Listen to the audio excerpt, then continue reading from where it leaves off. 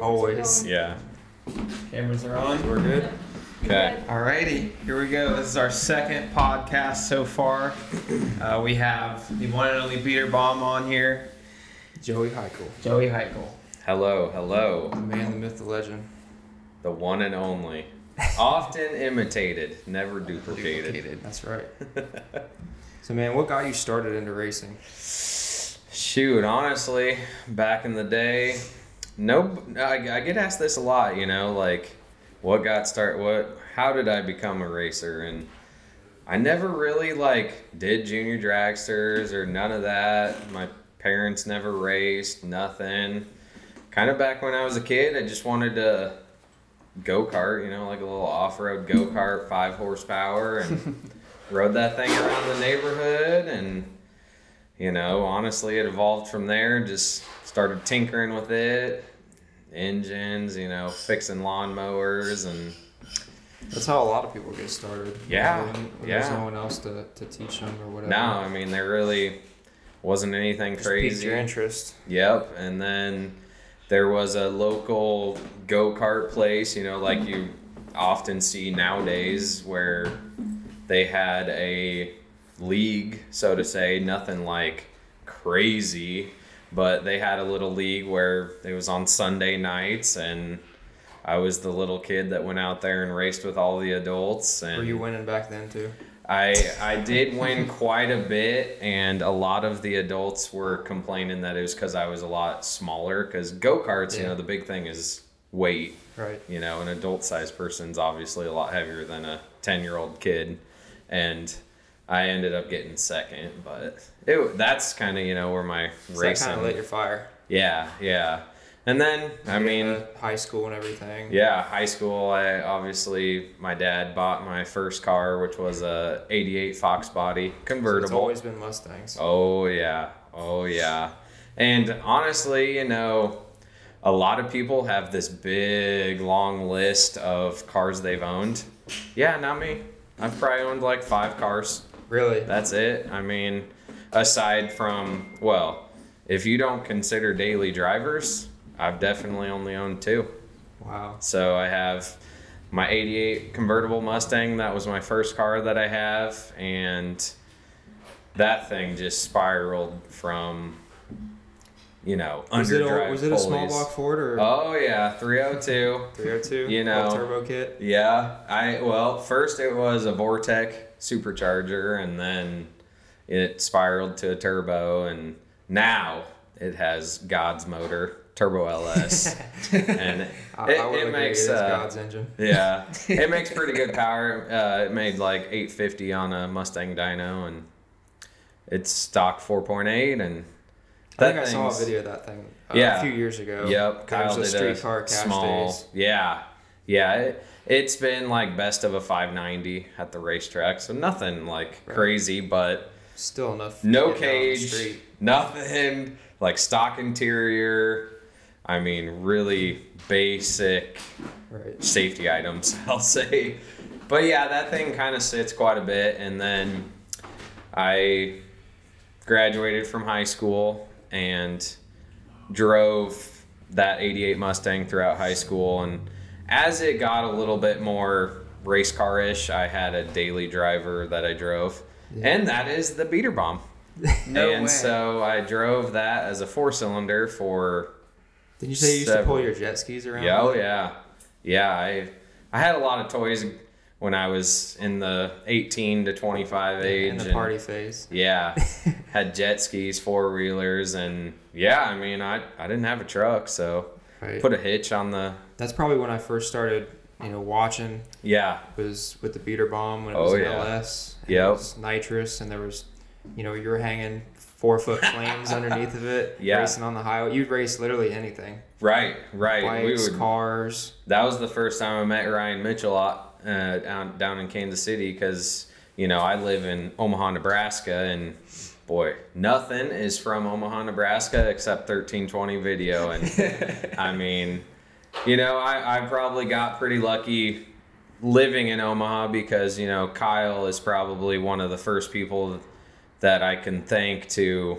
start your success of Yeah. being quote unquote famous Yeah. you know because obviously i mean there was not youtube was pretty small back then Right. you know and in the It wasn't what it is now. no You know, no it it's probably crazy Ten percent of the channels there are now. yeah yeah so everybody knows about the video of the beater bomb racing the bikes down center street is what street that was in omaha and everybody talks about that race and that was actually it's really funny garrett mitchell cleetus mcfarland filmed that when he worked for kyle in his stock-ish subaru and everything yeah he was there Crazy how things just evolve. it is wild because Garrett used to live. back? Garrett used to live in Omaha too Yeah. when he was growing up, and so yeah, that's it's crazy how everybody from Omaha is, you know, it's a small world. Right. It's a small world, but yeah, that's how the beater bomb came to but came to be. Bought it as a daily driver, four cylinder. Where did the name come from? Beater bomb. Oh yeah, that that's a good one. the The name Beater Bomb actually got coined before it was even modified. Really? Like it's you know kind of a junker, I guess, mm-hmm. and just it's a beater. And then one day, I mean, names of cars they don't.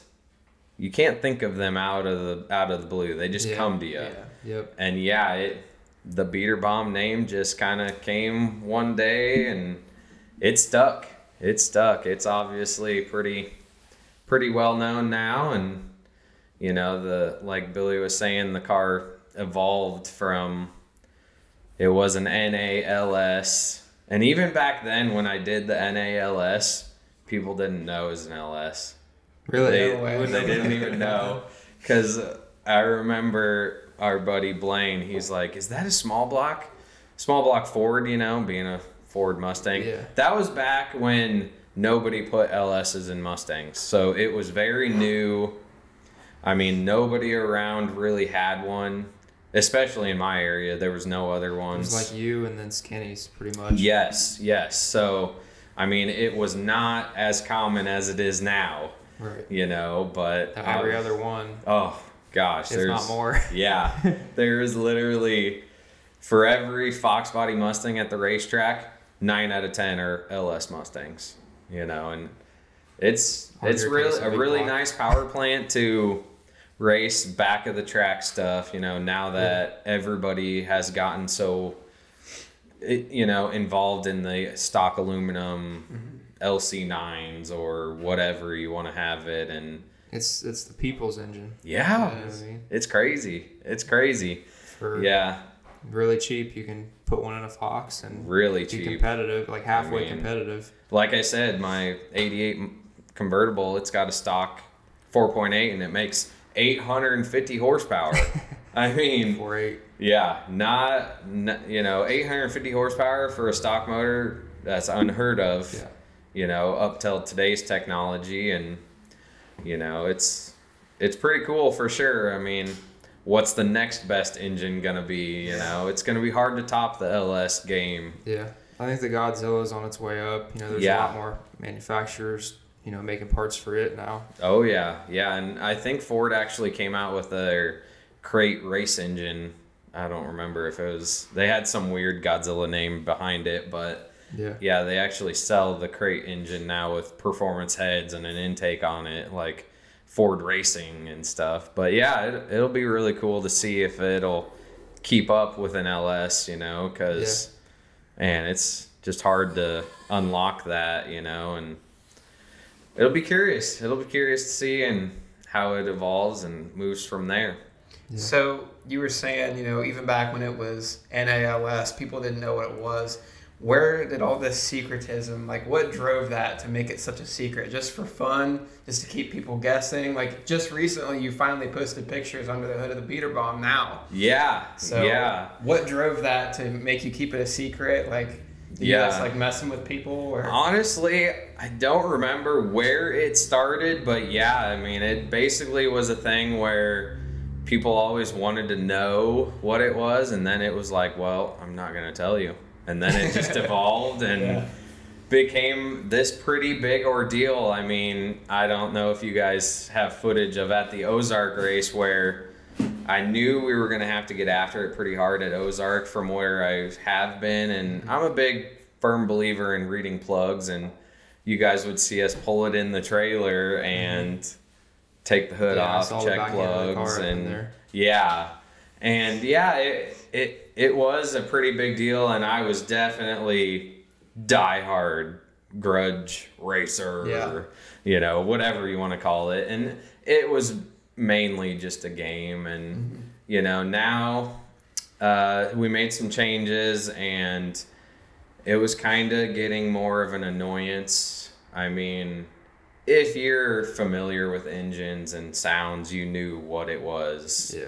and it, it really wasn't a secret and you know it kind of got to an annoyance thing where i used to be a big a-hole i don't know if we can cuss on here but Yeah. No, you can. we i used to be a big asshole about just anything and everything where you know and i would push buttons of people and i just Get in their head. decided to become a bigger person and not kind of be that guy anymore. I want to be the humble guy at the racetrack that everybody likes, even though I'm there to win, obviously.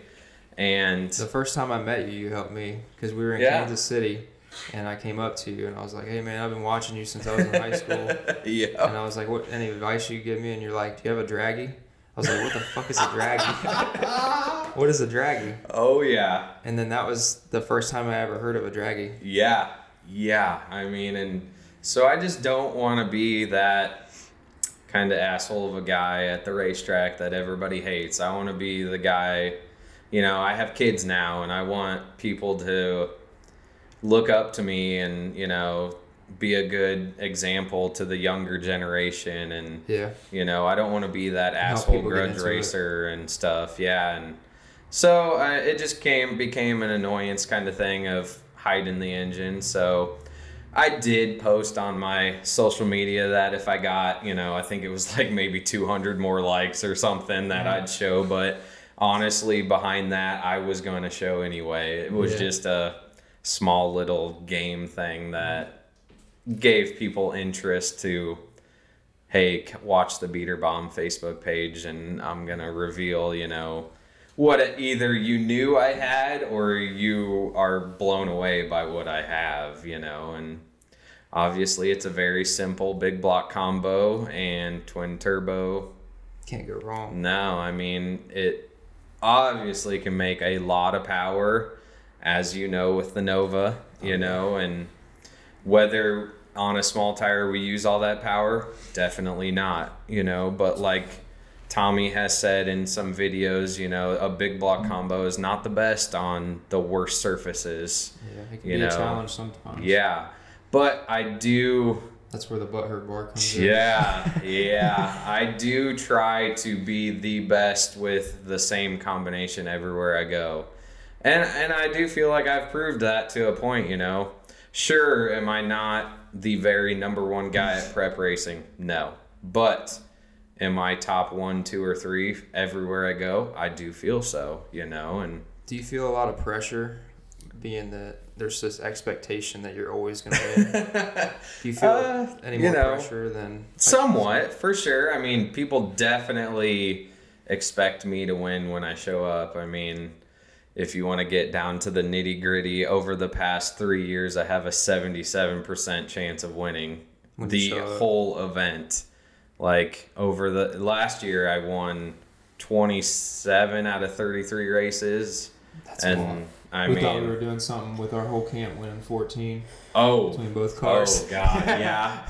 no, and then this year I've won 18 out of 22, I think, or 24 maybe, and obviously this year I had.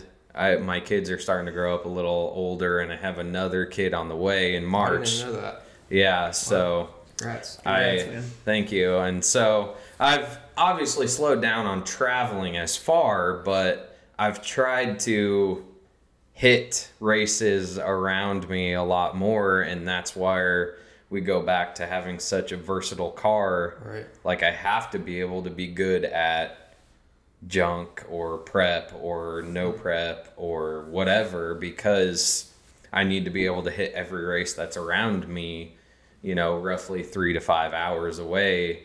Any more than five hours away, my kids can't come because sitting in the car for that long when you're a young kid Yeah. is not fun at all. Does that make it tough? Like, I know a lot of guys just went to Mega Cash Days, Yeah. and uh, you know we weren't able to go. We didn't have everything ready in time. But Yeah.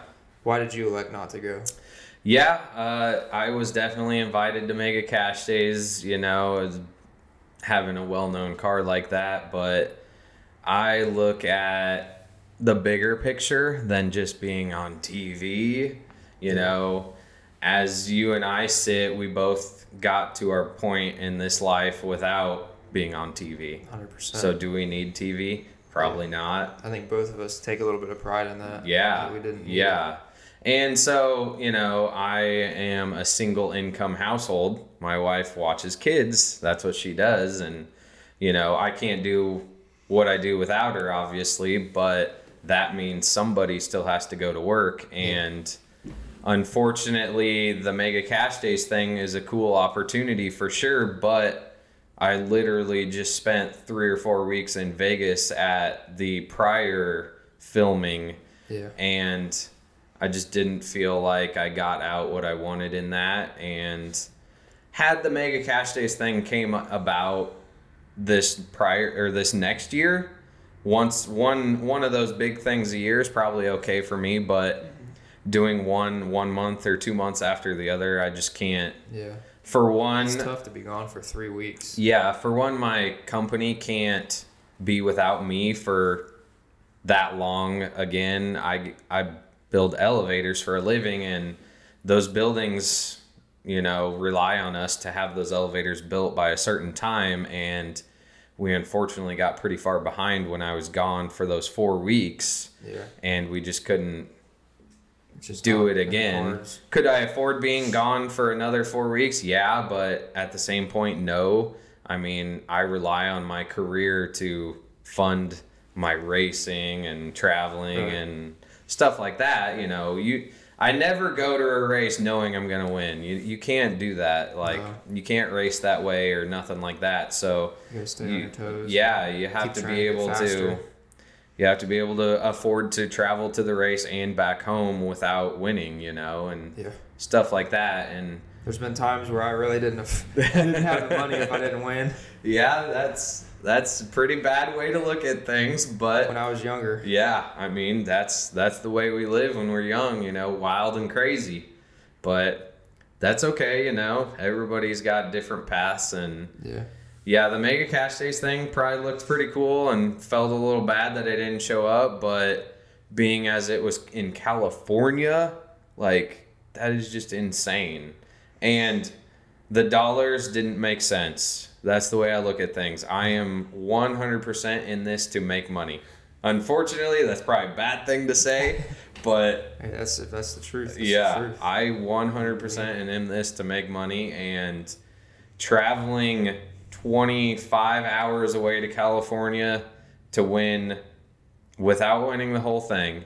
If you won two or three rounds, you wouldn't even be able to pay for your diesel. And that ain't, That's kind of where where we were weighing our Yeah. options, and you know, I mean, it ain't, it, It wasn't, wasn't worth, worth it to rushing. me. No, no, not at all.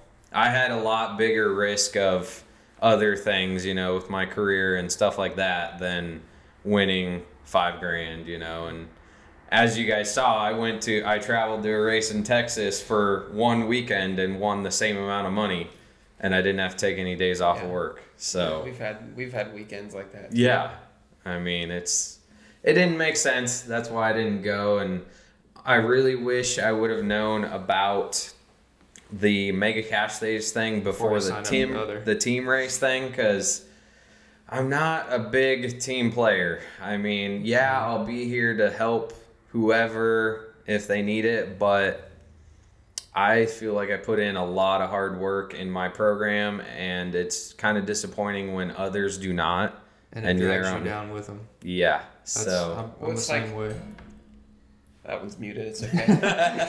well, it's like you put in all the hard work to get some of your data, Mhm. and somebody else that didn't. And then you know, you wants you, to share it. you found Yeah. out. Let's say you you found out something that took you a long time to figure out, Right. and then somebody comes along and you know they think you know it's no big deal. Like you know, just help me out. And yeah. That team stuff gets tricky. I see a lot of teams break up over time over Yeah. that stuff. Yeah, I mean, we we all agreed from the get go that we were splitting the money evenly, and I feel like that was the most fair deal. You know, so that gave the chance of everybody needed to help everybody, and I definitely helped everybody to the fullest that I could, and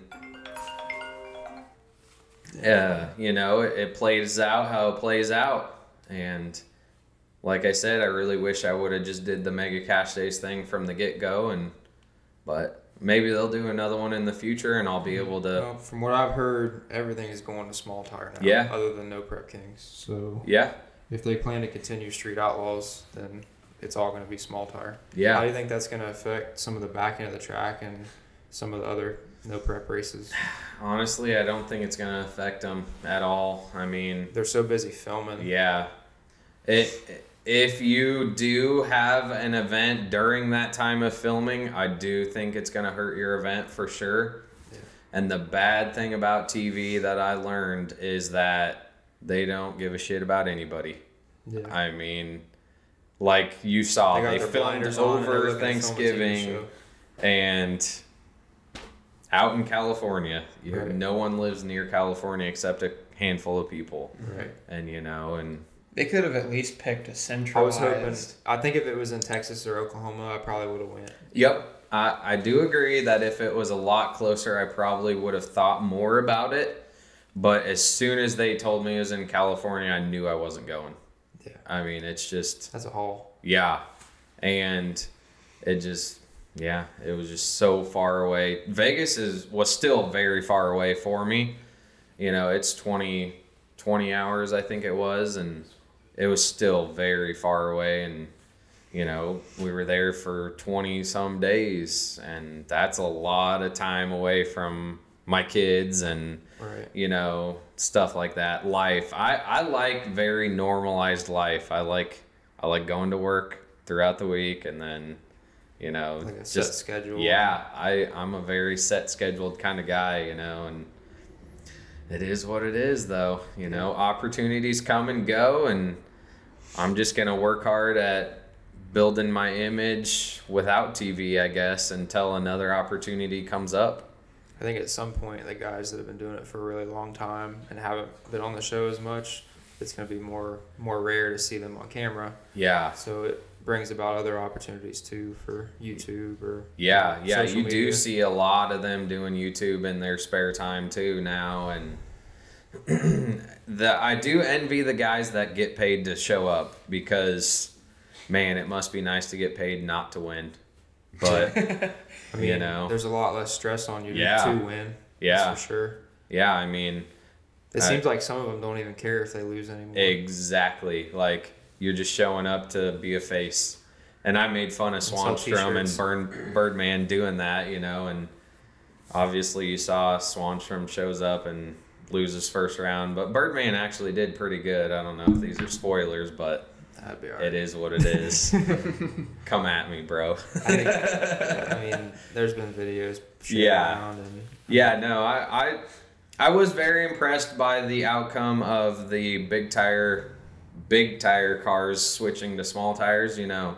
Quite a few of them you'll see did pretty good, you know, and I, I was extremely impressed, you know, because you don't think that a strut front end car, tube chassis car with zero travel is going to do very well on a worse surface, but I do think you give somebody enough passes, they're gonna figure it out. Those guys are smart. Like they really cars are are smart. enough they can make the Yeah. bias right and make Yep. it work.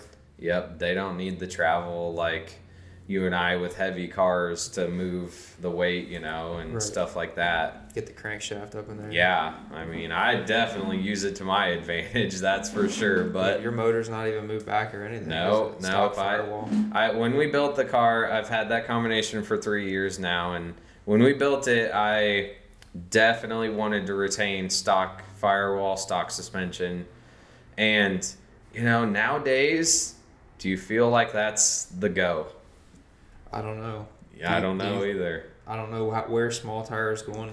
Uh, half the races I go to, there's no rules but the tire. Yeah. And you see people out there, you know, Ryan Mitchell, he's got legit 11 inch motor moved back, you know? Yeah.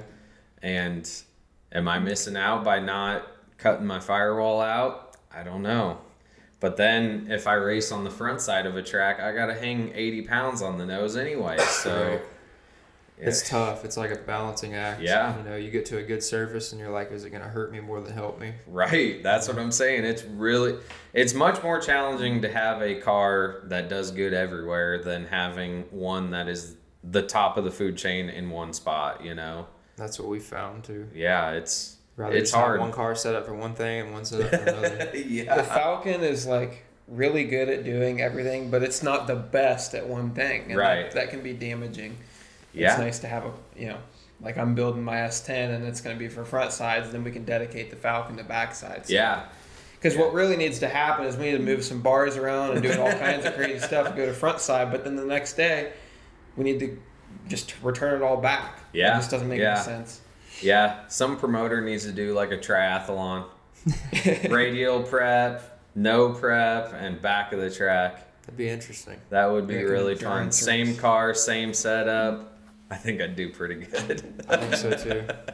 But I mean, that's that's what I shoot for. You know, I try to just have a really good car for everywhere How many passes go. do you think you have on that car?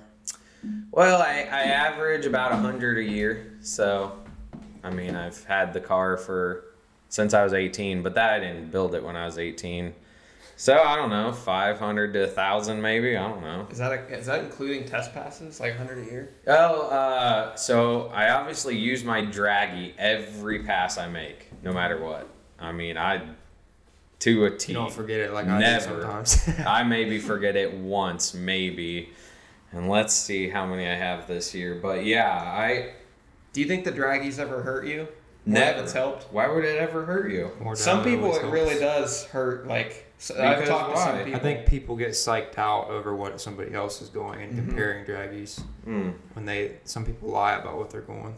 Oh well, yeah. I mean, unless you use it to yourself, I'm at 108 this year. wow. So It's a pretty good amount. about of hundred a year. I mean, and that's with test passes and Mhm. stuff. And honestly, I don't test a whole lot anymore. I Yeah. mean, I have a very detailed logbook in my computer of separated books for the streets or backtrack whatever and track you know of Yeah. every race i go to every pass i make. How is the car set up? What's the instant center? How much weight do i have? Where is the weight? Is it on the bar? Is it on the bumper? Is it You can get something close for first round. oh yeah Based oh on yeah all your yeah your logbook writing. Yo, yeah. And so until I run into a problem such as not here making excuses, but when we went to Ozark, when we were racing you, you guys saw I kept wheeling. Yeah. And honestly, I didn't change a whole lot, but I must have been right on the edge of wheeling or not. And then I moved some weight back a cunt hair, back a little bit. You can edit that out No, it's alright. we don't care. back a little bit and then it just wheelies out of control Yep. and so that was after that we went to vegas and did the street outlaws thing because i had to race that and when i got back i made probably several i did a friday and saturday deal at my track of just testing and i ended up having to add 80 pounds on the nose to get it back to where i was That's and just by moving some weight back three inches, it got upset. You know, I moved my turbos back three inches, and I, I don't know why it was the tipping You point. Switch those oilless turbos. Yep. And it just made it upset. So the only time I ever go test is when I run into a problem like that where the Mm-hmm. Trying to data is not something. making sense. Like, Yeah.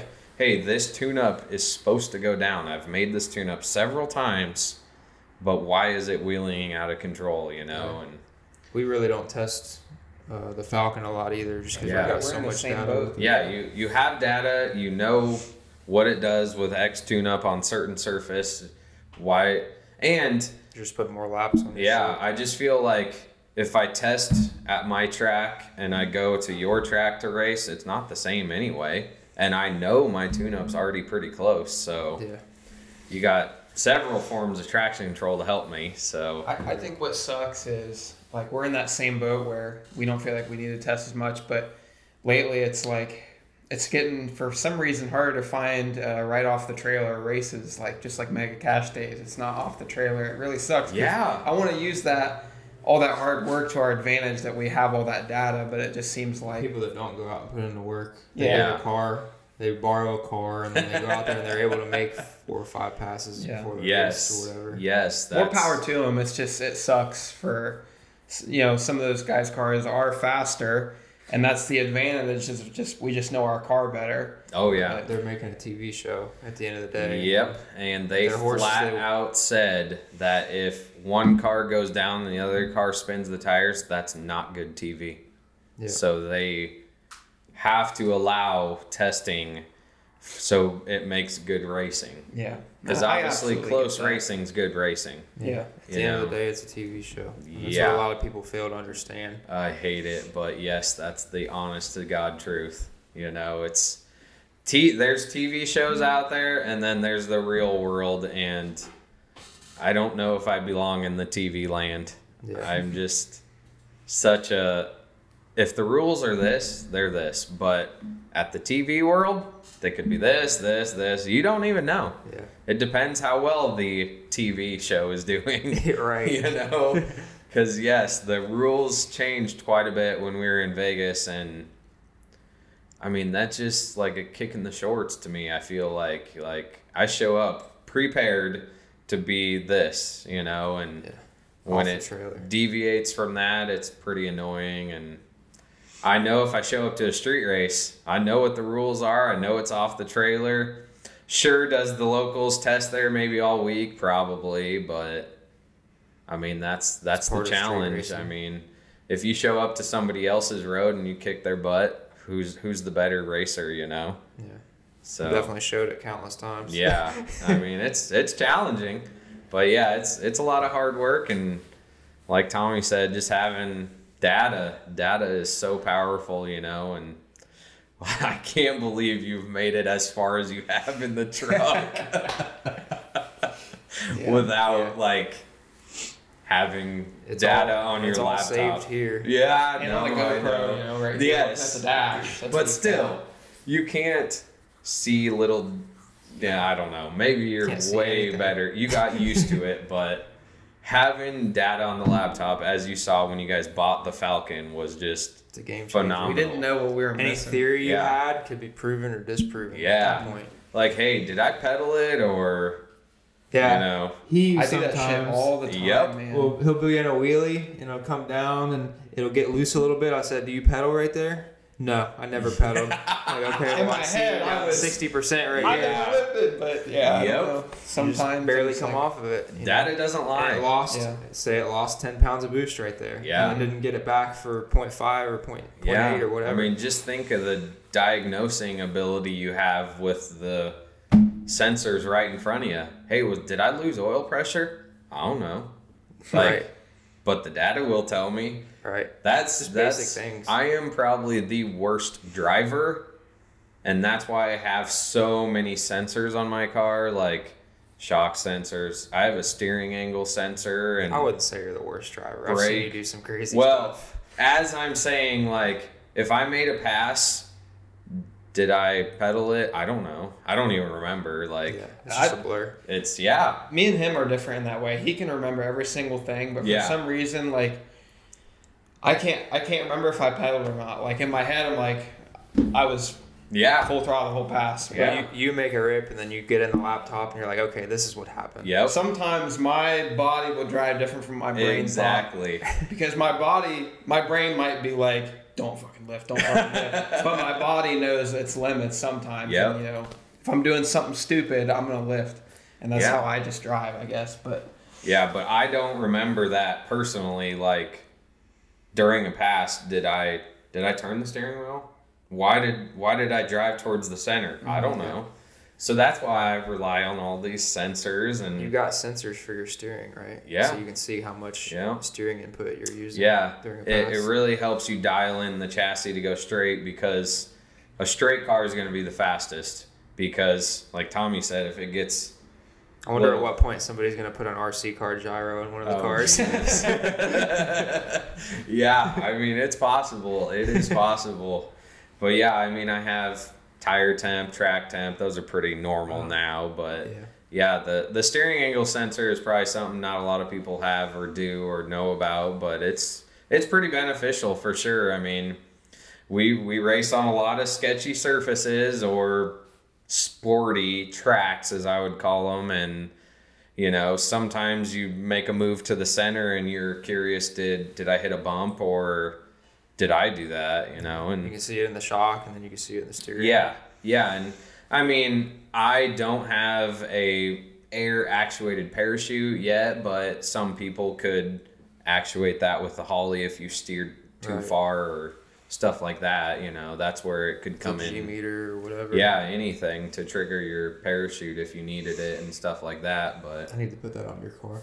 That way you're not trying to reach for it. I get super uncomfortable having to, you know, Reach having for my the hand up here for the last 200 feet of the pass. I can't do it. Like, oh I, I'm not the type where I hold my hand there. The whole pass. Like I'm I'm on the steering wheel and as soon as I get to the end of the track I throw the parachute and put my hand back yeah, on. some Yeah. people I teach don't sit it. there and hold it. Yeah, like some people are ready, like in case the car gets upset, which I understand. If the car gets upset and you pull the chute, and it can save a car. Yep. But Yep. I feel like I'm gonna end up crashing with my hand up here. I watch some people they come off the trans brake and go right to it. I I do see that a lot of pro mod drivers do that, you know, just for I guess safety, you know, and Some people can do it. I just don't feel comfortable like that. Everybody's got a different driving style yep. you know, Absolutely. Yep.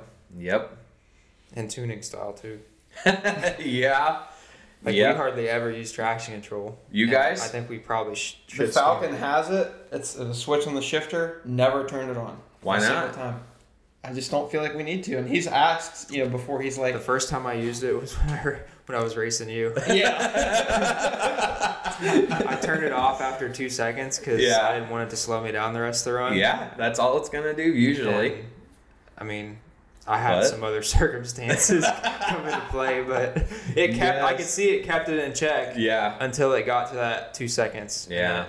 It like lit and the oil come out. Right. And it That- was, just, it was it- gone. once you ran over oil, nothing was stopping that, no matter Yeah. what. when you were watching that happen, what was going through your head when you saw it spin out? Were you like, thank God? Like, yeah, I, mean, it it was. could have been really bad. I that whole weekend was pretty crazy because I knew I had to go to Vegas the next weekend.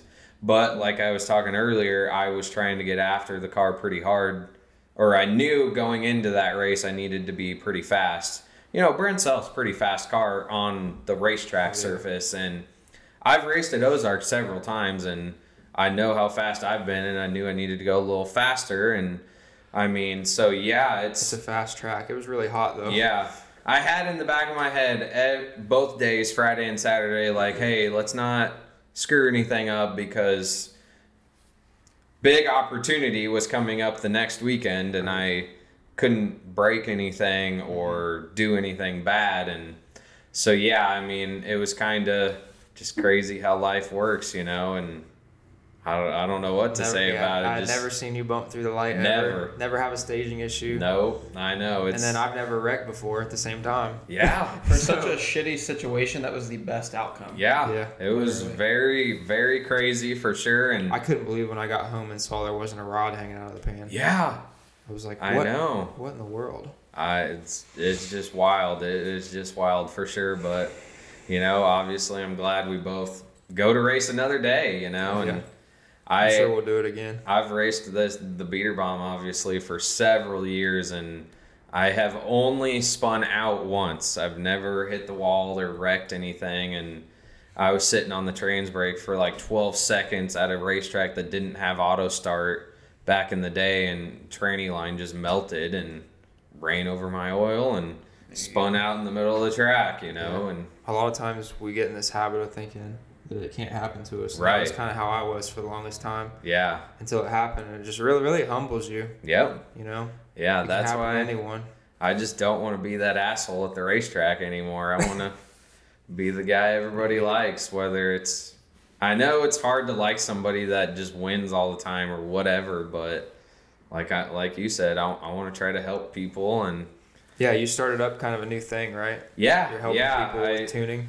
I honestly got bored racing. I'm not gonna lie. It's hard to say that, you know, winning's boring, but like Helping other people win is Yeah. even more rewarding to me. Yeah, I mean, it, it started to get to the point where I would go win a race, and you know how, like, you win against a very fast car or whatever, and you're screaming in the car. Yeah, I don't do that. Yeah, I rarely ever do that. I just, Until I beat Perry. yeah, see? And That was the one I was that was the, that was the biggest monkey on your back. For Yeah, three or yeah. four He beat me so many times. yeah, and I just, I don't know, it just seemed like, ah, this is pretty boring. Uh, won again, whatever. You know, ha- winning money is cool, yeah. But because After a while, you almost come to expect it. Yeah, and then, so I got to the point where I'm like, man, I need to do something else, and I, I really like tuning. Like I, I love I love tuning or just like deciphering data logs. Like I sit at home during the week after a race and just look at my data logs because you don't have enough time to like look at everything in between rounds No. And I just sit there and like stare at them, and it, it really allows you to find areas where you can do better. And you know, in my logbook, I take notes and put in there, you know, stuff like that. And I, I decided, you know, hey, I want to see other people do good too, you know, and make a little bit of money here and there. And so, yeah, I started this beater bomb tuning and support, you know. I figured I might as well put all my hard work into other people's programs, you know, and here and there I have been tuning other cars prior to this deal, but you know, I wanted to see if there was anybody else out there and Maybe that- outside of your normal wheelhouse. yeah, yeah, and I, it, I've obviously been pretty busy with it, and even in the winter time, I've been dyno tuning cars. I mean, some made 450 horsepower, but And do you do You ju- know. just do Holley or do you do all kinds Uh, of fuel tech? Hall Holley, Tech? Fuel Tech, and Haltech. So I've messed with Haltech a little Yeah. bit. It's really different from Holley. yeah, I mean, it, it's not that dialogues are a bad. You know, they're all pretty much the same in my similar. opinion. You know, You don't have a favorite though. Oh, Holley is by far my favorite. I mean, probably 10 to 1 for sure. I mean, Wow. Holley, I feel like is very programmable, but you have to be as smart as what you want to program. Like, I had a guy come up to me, one of the cars I tuned for, his wife floors it in the burnout, literally just bah, bah, bah, bah, to the rev limiter That's how you to do sometimes. and he wanted it to have a rev limiter offset and a air shifter offset when a certain switch was triggered their burnout switch and you know so you have to be smart enough to tell the Holley make a 2d table based on the burnout switch voltage. This is mm-hmm. the rev limiter offset or this is the zero rev limiter offset for when they're going down the racetrack. Yeah. and you know stuff like that's pretty cool to think of and stuff like you know the Holley you just tell it what input and output and what it does and I've watched uh, Brian. I was really impressed with him with his little uh, pecker extender that comes yes out yeah midway down the track. yeah Probably triggered off his Holley or something. Oh, yeah. Maybe off his shifter or Yep. whatever. Yep, and gosh, that that we had a race at US 36 here a month or two ago where we raced in the finals, and he treed me on the tree by I went in 050, I think he went in 030, but I ET'd him by I think it was four numbers, four hundredths, mm-hmm. but. I got to the finish line first. It looks like in the videos, Right. but I think he tripped the beam with his bumper. He didn't have the pecker thing out mm-hmm. then, but he had tripped the beams first. And you know, I flat out said, you know, we we rely on the timing system, and Yeah.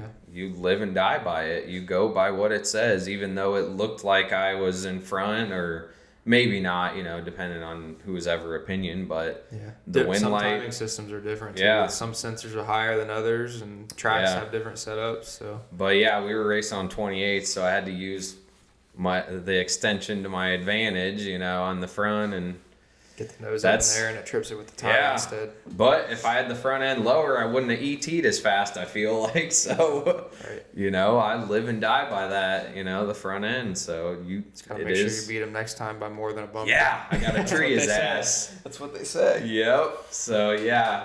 No, me and Ryan go back and forth quite a bit, you know. And Do you think if if Ryan would have been in the scene, do you think you would be as fast as you are?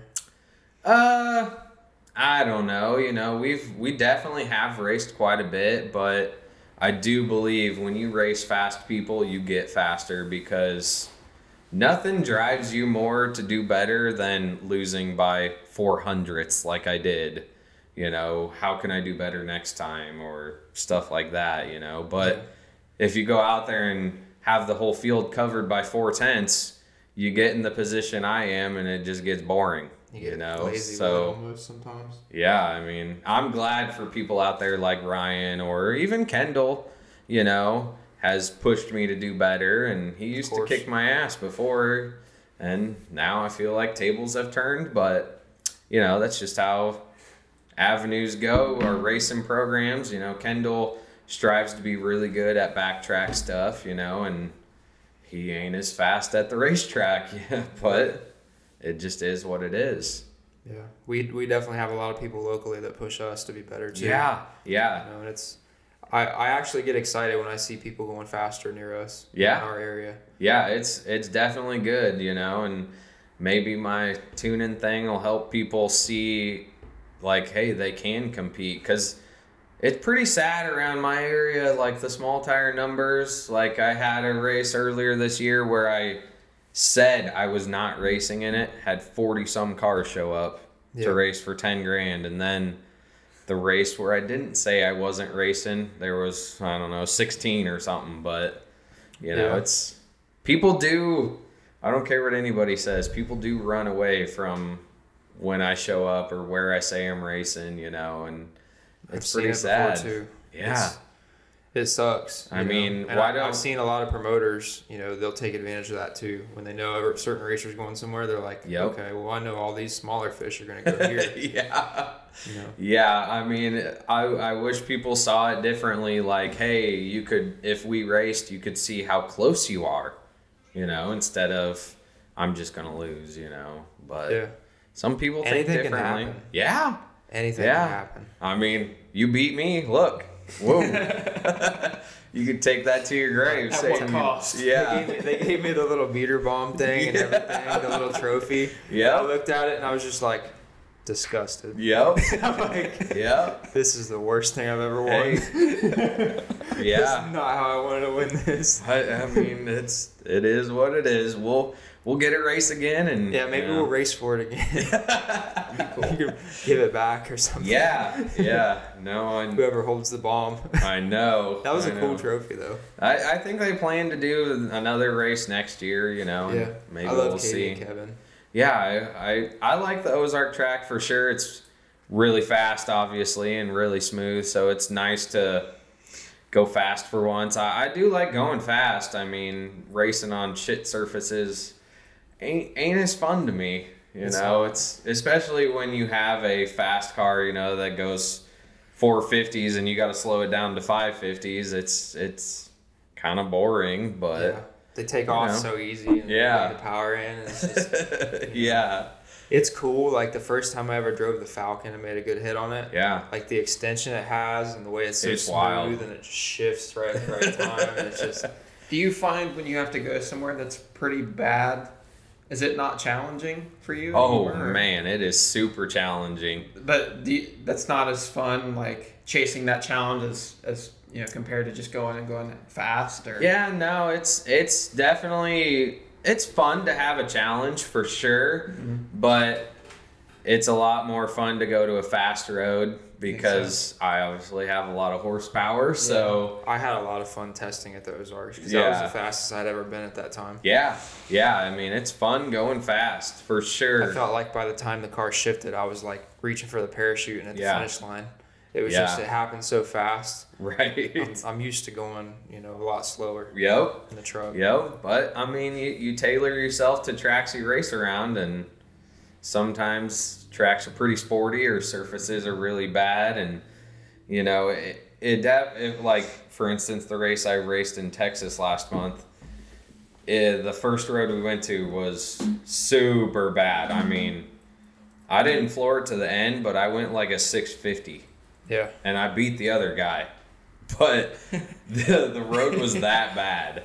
And showing up to somebody else's town on their shit roads is very challenging for sure because you feel like they have all the data there. I mean, I guarantee you if you show up to my town and go to the road I race on, ain't nobody beating me there. But I feel like that's how it should be. Like Yeah. I have literally a hundred hits on the street we Every race pass, on. you're gonna get faster. Oh God, I I'll be faster than anybody's fastest pass off the trailer just because I know the road and nobody else does. But that's the every challenge little, of every little nook, yo every God, little yeah. bump. I mean, literally five O's off the trailer and just, and then I'm just gonna get faster from there. But that that's the challenge of going to like your hometown and racing on your road is I got to figure out that road. But like Kansas City is pretty close to me. Once I go to their road and race on it once, and then every time I get to go there again, I, I've got data. So Yeah. you're just gathering data for future, I guess. And if you show up and lose, it is what it is, you know. Losing's just part of racing. You can't get discouraged if you lose, but yeah, I definitely have a lot of pressure to win for sure sometimes. I feel it too because I Yeah. feel like I got a lot of fans. Oh, yeah, you that definitely do. support, and if I don't win or if, if I go out early, I, it weighs on me pretty bad. Yeah. You know, because Nah, you know I try not to let the haters get to me nah, anymore. definitely not. you know, I look at it look at it as they're they're making me money. Oh yeah, point. haters make you famous. That's for sure. You know, my trailer used to say "financed by my haters." I, yeah, I think I remember that in So- videos. Yeah, it's it's a true statement. I mean, they they can hate all they want, but they're the ones watching me. You know. I think I'd be more upset if I didn't have any haters Yeah, because no one you- cared. No one cares. no one. Not at all. Yeah, that's the that's the best thing about the butthurt bar. Everybody hates that thing. Yeah. but you know, you just got to look past them and race your race. I mean, losing's part of it. Just see what you can do better and don't do it again. what do you What do you think like sets you apart from everybody else? Like, what do you What made you get so much mm-hmm. faster than everybody else? Like, you have a Mustang. It's a big block. It's got big turbos. Like, Yep. this is not something that's Pretty out basic. of ordinary. You know, it wasn't always a big block though. He did Right. Right, you know, no. has all different combos. But this Yeah. is not something that nobody has ever seen. No offense. Right. But what do you think has made you so much faster than everybody else? ingenuity optimizing what i have for sure and like we talked before having data like and you've been in the same car so long. yeah but you know changing combinations or turbos you know Yeah. it, it changes everything and yeah i have been in the same car for well this chassis for three years you mm-hmm. know and i don't know hard work maybe is what sets me apart i feel like some people not you guys maybe you guys park your car after a weekend and then put it in the trailer and go race again. A lot of people. you that. know? You need to look it over change spark plugs or you know or just you know maintenance items i guess you know change the oil take care of it. It's it's trying to take care of you take care of it mm-hmm. and just look over data you know and like i talked earlier i sit there and study my data logs from the prior race all week and try to find where i can do better and take notes you know having a logbook do you guys have a logbook You started one. Didn't you? Yeah.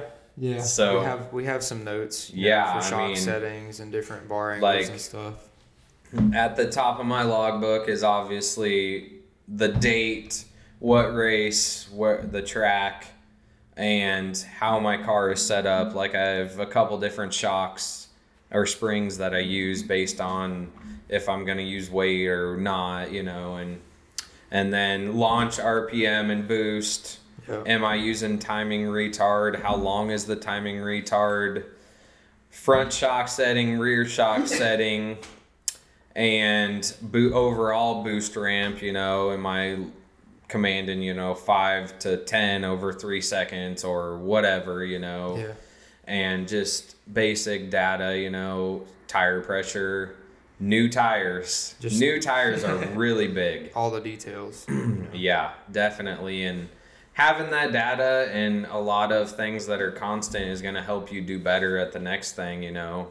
How many passes do you usually put on a set of Hoosiers? Well, seven or eight. And we have overlaid time and time again at seven and eight. It literally loses like a tenth in the 60 foot. Wow. And I don't know why, honestly. Is it because I'm just like using so much horsepower? I don't know. We haven't figured it out. Mickey Thompson did tell us that we're near the limit of their compound that we use, the the stiff wall, but and and several times during the year we've like ripped the tread off the slick Wow. and they just said that we're kind of at the limit with the weight and speed that and power but i don't know it is what it is but yeah seven to eight passes usually and if you watch me and i sell you slicks they're always at five because if you go to an event you usually race five rounds right well that another five is more than seven and eight so Yeah, you don't want it to cost you a final. Nope. And it has almost a couple times. We got really lucky one time. I slowed down from like a one teen 60 foot to like a 140 and nearly got beat. And from then on, we are like, we're racing on new tires every mm-hmm. time. Yeah. And I either save those ones with five passes on them or four passes on them for testing or just sell them. I mean, you literally buy a new set of tires for five or six hundred bucks and you sell these ones for three hundred. But are you gonna let that three hundred dollar difference cost you a five thousand dollar race? Probably not. Nope. So Our biggest thing with the Falcon is it's so hard to get the tires off. that it's is painful. that is a big deal. I did see that. Yeah, it's it's tough to get tires off the car. Yeah. We had we had a Especially couple like in between too. rounds. Like Yeah. doing it Yeah. after the weekend's over, that's one thing, and a pain Right. ass, whatever. But there's no, there's not enough time no. unless we had a lift It and a trailer or least half, something. half an hour. Yeah. yeah. I did watch one of the videos of you guys changing tires. yeah. It's a pain. I I do have three sets of wheels, but still, I mean, double bead locks are pretty hard to change tires between rounds, and we definitely try not to. But at one of the last races, we I went to Onondaga all the way in near Detroit, where you guys raced once, and our sixty foot knocked off by like half a tenth, and uh, and the tires were at six runs. And I was telling Justin, I said, "Hey, we need to make three more to win this." and we're already losing right now. So we had a new set in the in the truck because I brought them in case, and so we put them on and picked it back right right back up. I, I don't know why my car likes new tires. I, I mean, I hear a lot of people use tires further than we do, but it's really hard to deny the data when we have take so good of notes to notice it time and time again, you know. Yeah.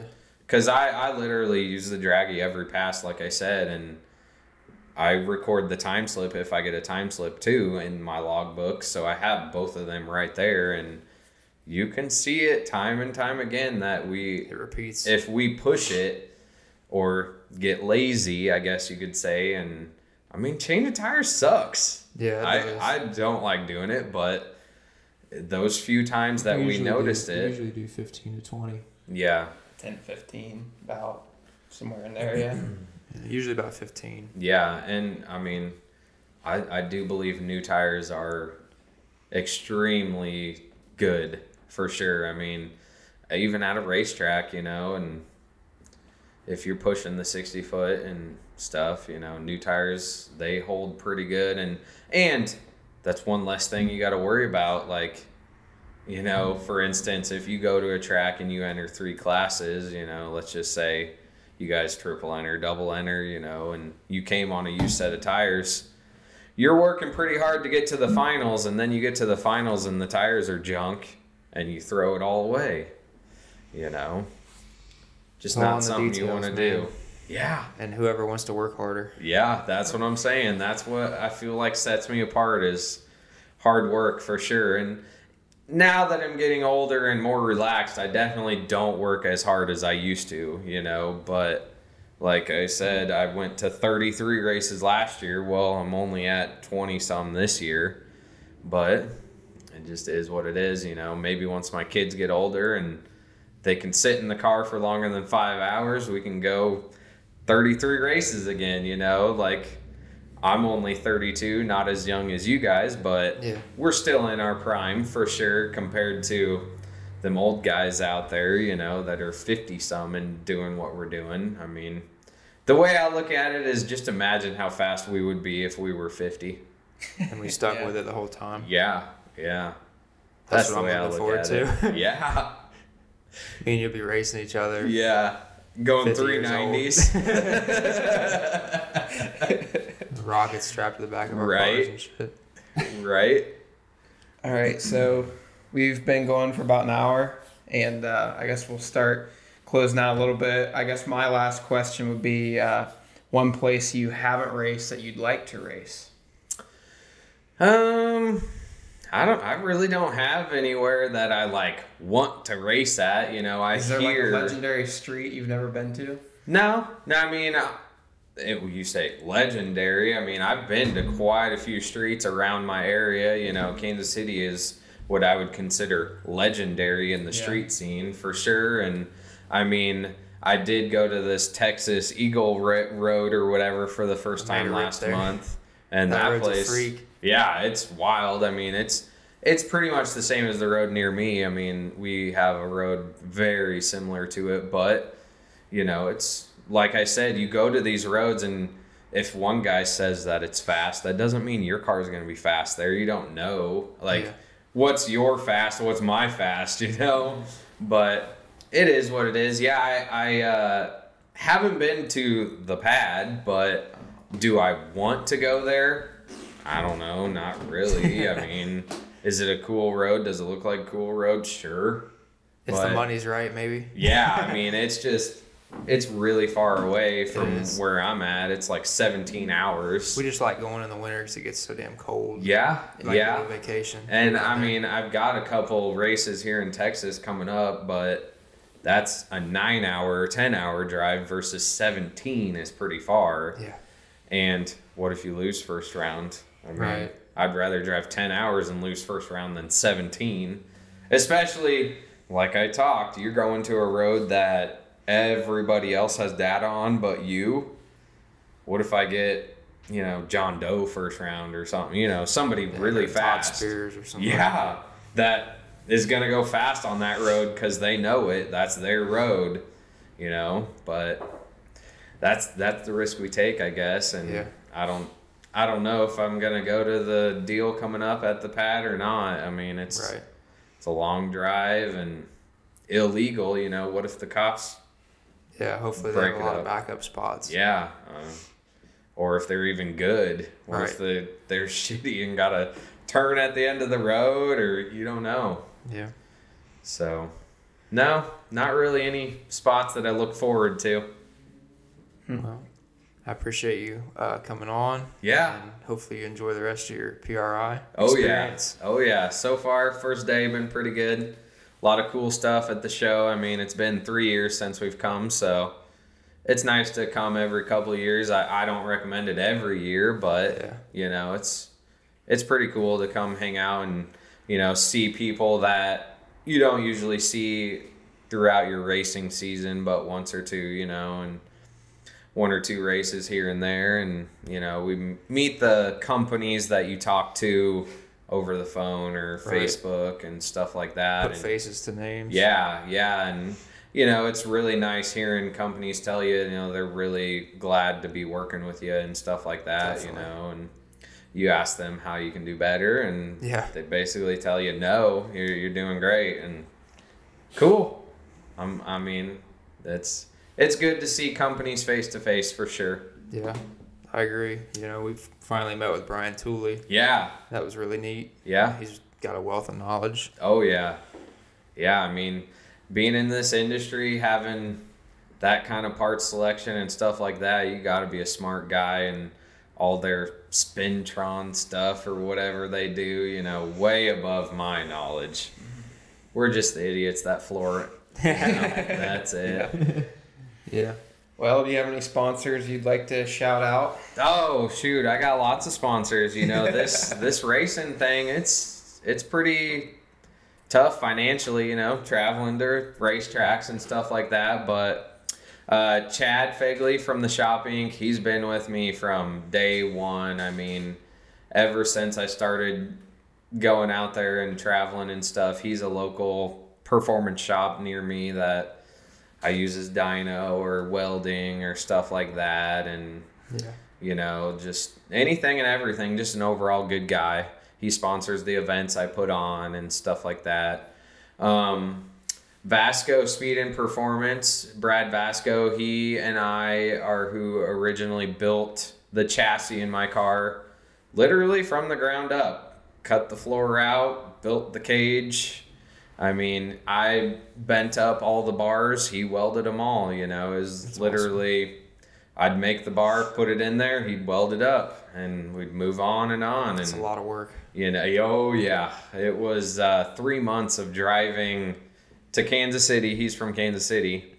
Three months of driving back and forth every weekend, three hours away, and it was a lot. I mean, my wife hated it, but I'm, I'm safer now. way safer. I'm really glad we did it and that was when we first did the big block combination. So, you know, all of that transformation into it and fab work, anything and everything Brad can do. I mean, I, I do feel like I have pushed him to do better, you know, try new things. He mounted my front end when I got it a long time ago and I mean, just anything and everything. So, I've, I've definitely done a lot of work with Brad, you know, and he's been really good to me.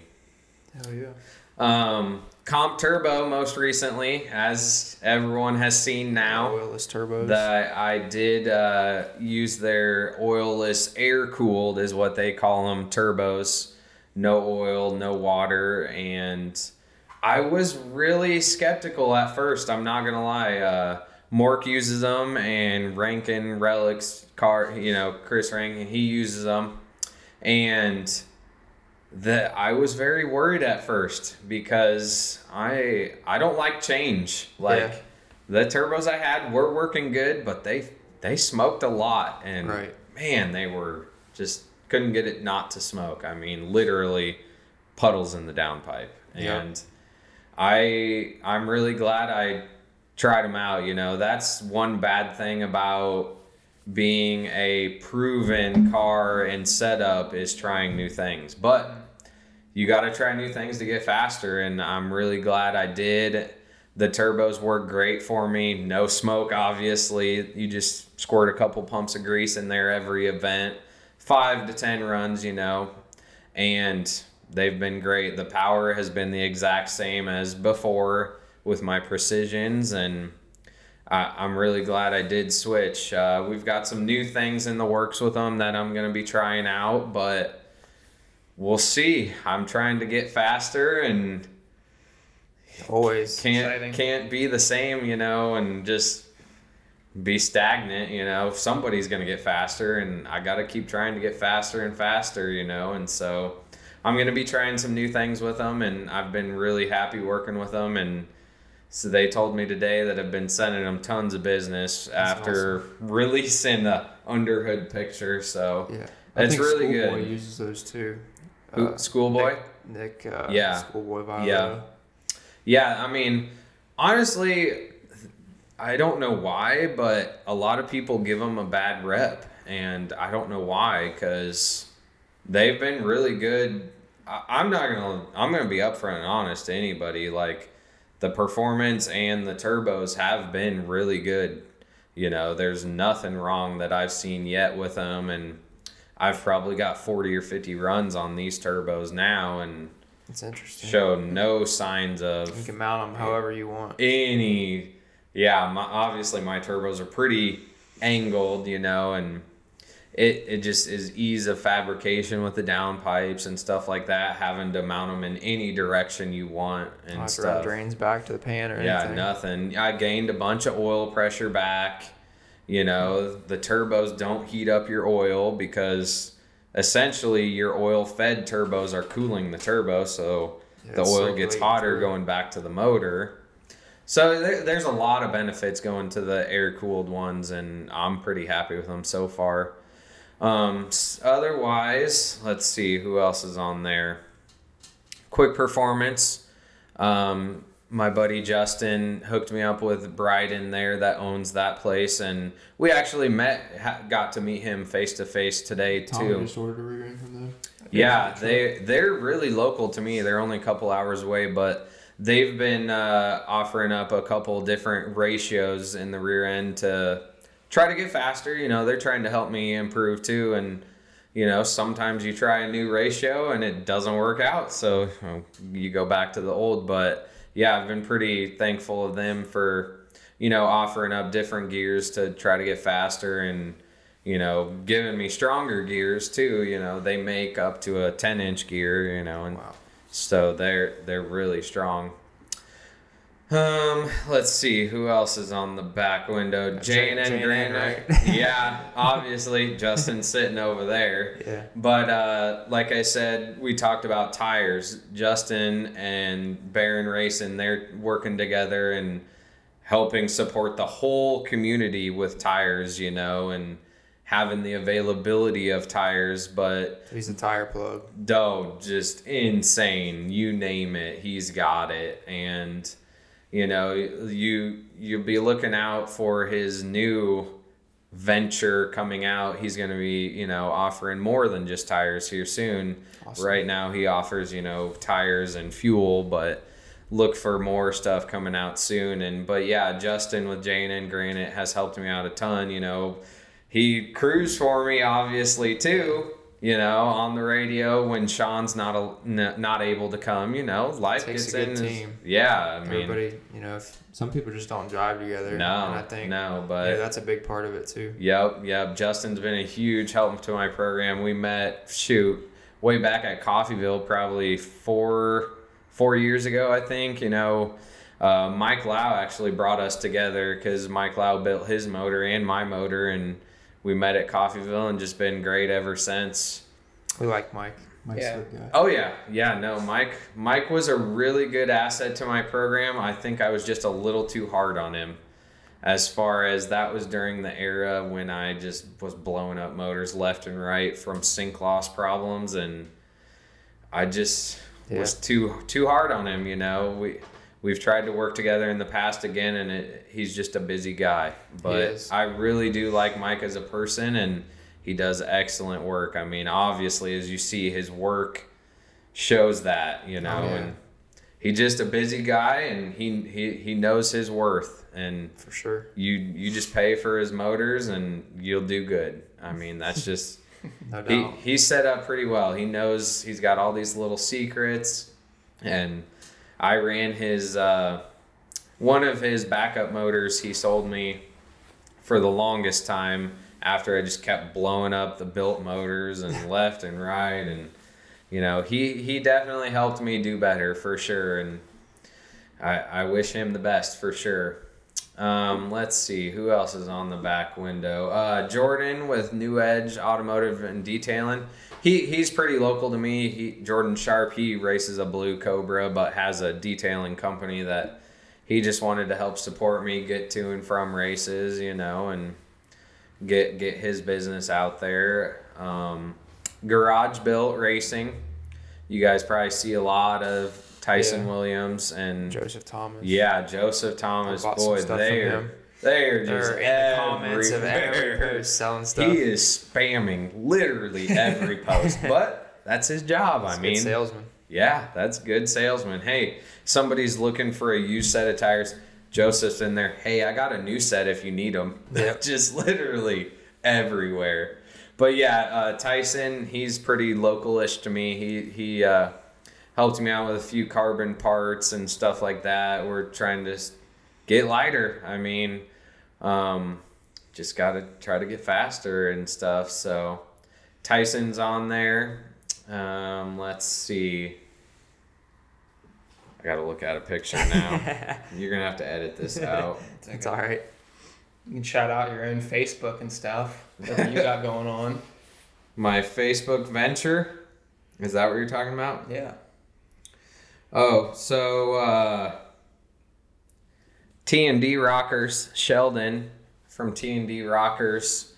He uh, obviously big blocks are really hard on valve train, and uh, I ran into a few problems last year just breaking stuff left and right, and he hooked me up with the T and D Rockers and just been flawless all year. I mean the competitors rockers just their cast wasn't as strong as these T and D ones, and it shows. I mean, I I make a lot of passes a year. You know, 108 or so. That's a lot for a big block car, I guess you could say. And I mean, longevity is a big deal for guys that make lots of passes like us. You know, and Yeah. you guys race every weekend. I try to, and we can't be having parts break, Valve, but valve train parts Yeah. breaking is once you start doing that, it's Oh. just it's bad. yeah. So yeah, T and D rocker Sheldon, he's been great to me. Uh, my rear end, as everybody saw in that underhood shot or under rear end shot from 1320 videos, Marty Mary Marilat, you know, he, I had an 8.8 actually behind the big block for a year, and Oh wow. God, I just broke rear ends like the gear set literally like seven passes, eight passes. Especially if I shook the tires, It's just done. break. Literally like 10 teeth broke.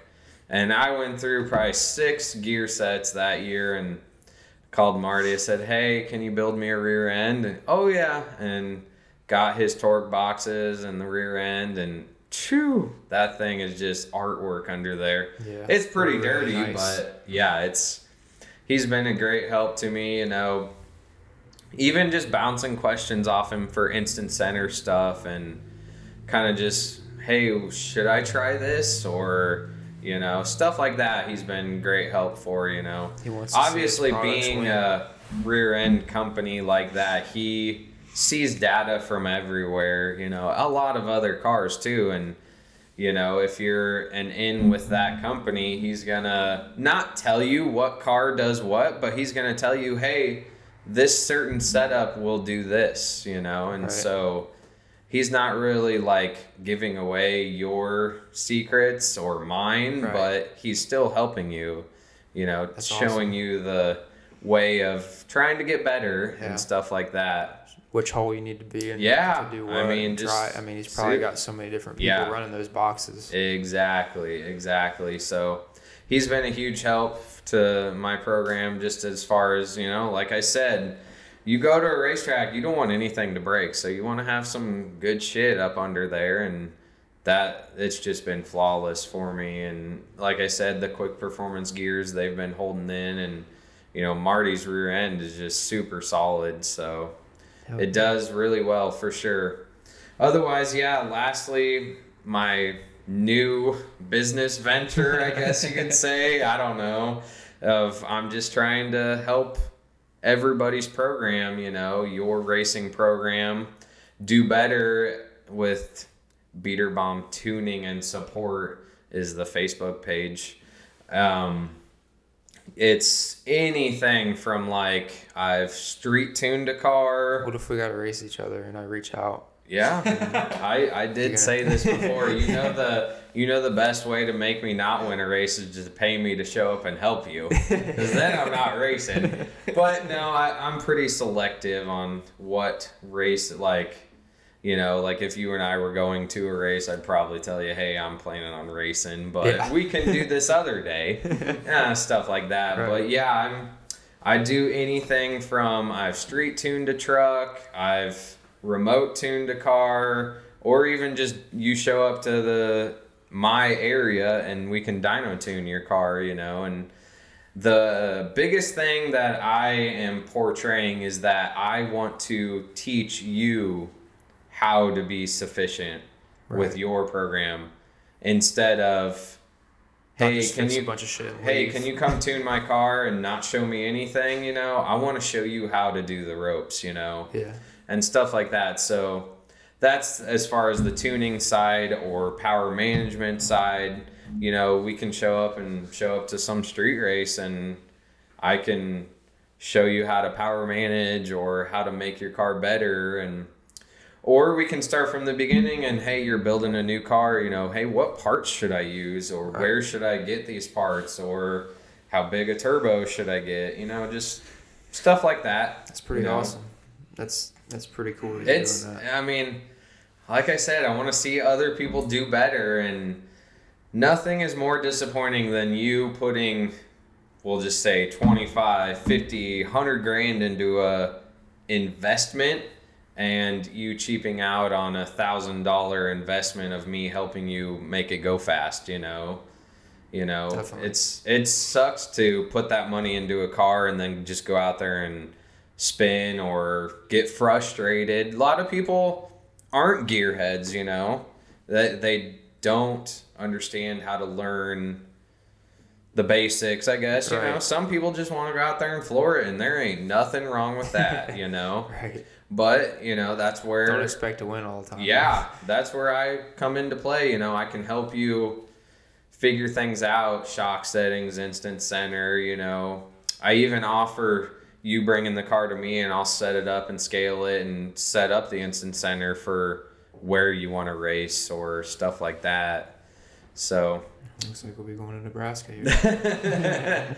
that's that. You know, I I have tried a lot of things throughout the years and you know that's probably where I've gotten so well at where I'm at is because I've tried millions of things that did not work but at the end of that tunnel are the things that do work and when you do find the things that do work it's awesome I mean obviously winning races is fun sometimes till you just do it over and over and over but you know i, I want to see other people win too when i'm I get more satisfaction out of watching him win. yeah Like That's when I'm what I'm the saying. starting line and I have people trying to bet with me, yep and I know what you know. I just put in the car, and like that's more as fun long to as me. tommy floors it as long as Tommy's gonna do his job. Yeah. most of the time.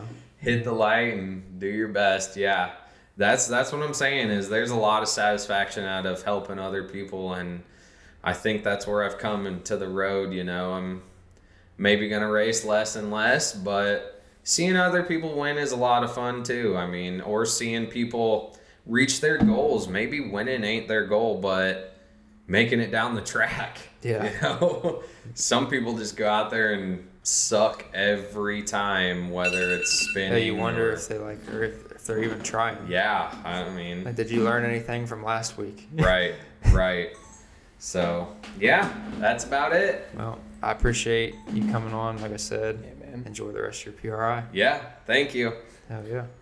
That's a wrap.